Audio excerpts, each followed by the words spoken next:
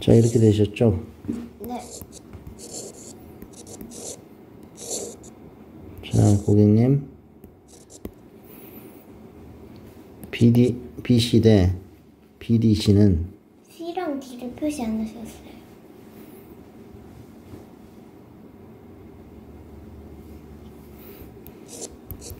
BC 대 5대 13이죠?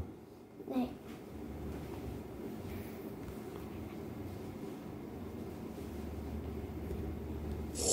그러니까 이게 5세타고 이게 13세타죠? 세타라고 해야 되나요? A를 할까? 네. 세타를 싫어해. 자, 이렇게 되는 거니까 18A는 360이죠? 네. 그럼 여기 100도죠? 네. 얘가 260도 나와, 안 나와? 맞아요. 근데 CDO는 뭡니까? 6억이죠? 네. AOD는 얼마입니까? 6억이죠? 네. 이게 3비고 4비가 된다는 거죠? 네. 그랬을 때 PD. PD를 구하세요. 반지를 R이라 넣어야겠네. 그럼 이 파이 R은 18이 되겠죠? 오. R은 8분의 9가 되겠죠?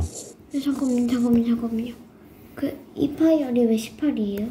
둘레가 18이라고 하셨잖아요, 고객님. 아, 아, 네.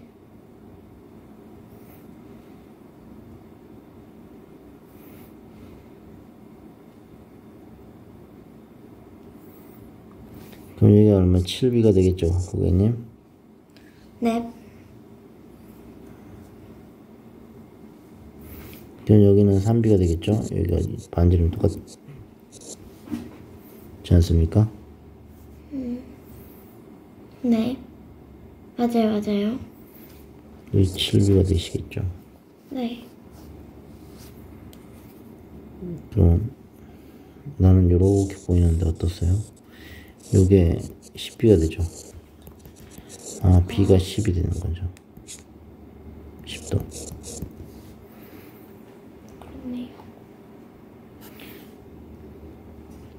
그럼 여기가 몇 도가 되겠어요? 음, 걔는요, 80.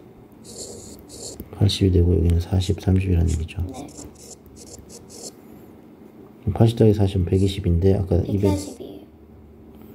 여기 140이 되겠죠. 그 BD의 호의 길이는 전체 18cm에서 곱하기 36분의 14